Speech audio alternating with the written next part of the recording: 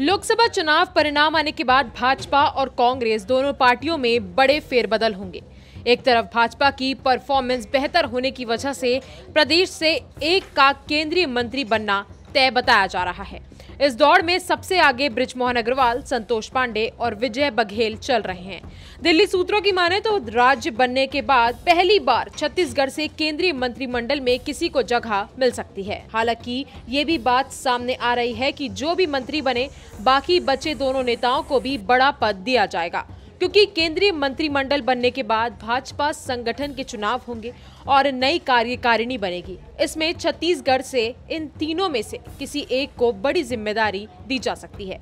वहीं दूसरी तरफ़ कांग्रेस में पूर्व मुख्यमंत्री भूपेश बघेल की हार के बाद भी उन्हें दिल्ली बुलाया जा सकता है। राष्ट्रीय संगठन में उन्हें महासचिव जैसे पद पर बैठाने की बात सामने आ रही है।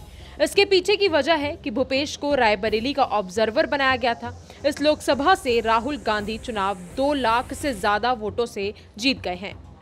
तो चलिए देख लेते हैं कि केंद्रीय मंत्री बनने की रेस में क्या प्लस पॉइंट होंगे और क्या माइनस पॉइंट होंगे। तो पहले बात करें ब्रिजमोहन अग्रवाल की तो उनका प्लस पॉइंट ये होगा कि वो आठ बार से विधायक रहे हैं। और इसके साथ ही प्रदेश की सबसे बड़ी और देश की टॉप टेन लीड में शामिल रहे हैं। राज्य में मंत्री रहने का लंबा अनुभव भी रखते हैं और इसके साथ साथ सत्ता और संगठन दोनों में मज़बूत पकड़ रखते हैं। और अगर माइनस पॉइंट की बात की जाए तो ब्रिजमोहन अग्रवाल लगातार विधायक बनने के बाद पहली बार सांसद बने हैं और संसद में उन्हें अनुभव की कमी है। बात करें संतोष पांडे के प्लस पॉइंट की तो पूर्व मुख्यमंत्री भूपेश को हराकर प्रदेश में कांग्रेस को कमज़ोर करने का इनाम संतोष पांडे को मिल सकता है। लगातार दो बार सांसद बने हैं। संघ में मज़बूत पकड़ और मोदी शाह के करीबी भी हैं। सरल, सहज नेता की छवि के रूप में उन्हें देखा जाता है। माइनस पॉइंट की बात की जाए तो जातिगत समीकरण में संतोष पांडे फंस सकते हैं। प्रशासनिक अनुभव की भी उन्हें कहीं ना कहीं कमी है। तीसरा नाम आता है विजय बघेल का, जिनका प्लस पॉइंट है वो ओबीसी वर्ग से आते हैं। लगातार दो बार दुर्ग लोकसभा से तीन लाख से ज़्यादा की लीड से जीतना एक बहुत बड़ा प्लस पॉइंट साबित हो सकता है। लंबा राजनीतिक अनुभव और तेज तर्रार नेता की छवि में विजय बघेल को देखा जाता है। विजय बघेल की कमज़ोरी की बात करें तो प्रशासनिक अनुभव की कमी है और हाल ही में विधायक का चुनाव भी हार चुके हैं। छत्तीसगढ़ में 9 से एक कदम आगे बढ़कर 10 सीटें जीतने पर भाजपा के कुछ नेताओं का कद बढ़ना तय बताया जा रहा है। इसमें सबसे पहला नाम मुख्यमंत्री विष्णुदेव साय का है। इसके बाद प्रदेश अध्यक्ष किरण सिंह देव हैं।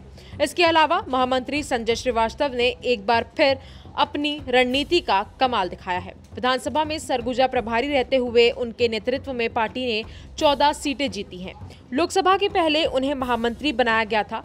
कांग्रेस में कुछ नेताओं का हारने के बाद भी कद बढ़ सकता है। विकास उपाध्याय और देवेंद्र यादव चुनाव हार गए हैं। लेकिन पार्टी सूत्रों की माने तो उन्हें संगठन में बड़ी ज़िम्मेदारी दी जा सकती है। वहीं इस चुनाव का सीधा नुकसान प्रदेश अध्यक्ष दीपक बैच को हो सकता है। विधानसभा और लोकसभा लगातार हारने की वजह से उनकी कुर्सी भी खतरे में बताई जा रही है। ब्रिजमोहन के सांसद बनने के बाद एक मंत्री का पद खाली हो जाएगा।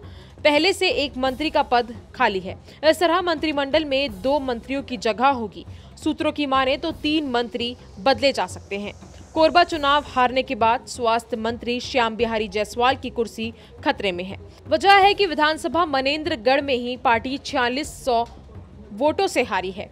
खेल मंत्री टंकराम वर्मा और महिला बाल विकास मंत्री लक्ष्मी राजवाड़े के बदलने की भी चर्चाएँ तेज हो रही हैं। तो अब देखने वाली बात ये होगी कि विजय बघेल ब्रिजमोहन अग्रवाल और संतोष पांडे में से केंद्र में किसे जगह मिलती है और इसके साथ साथ छत्तीसगढ़ की साय कैबिनेट में क्या बदलाव देखने को मिलते हैं। इसमें आपकी क्या राय है, हमें कॉमेंट कर ज़रूर बताएँ। और इस वीडियो को ज़्यादा से ज़्यादा शेयर करें और हमारे चैनल खबर विभाग को सब्सक्राइब करना ना भूलें।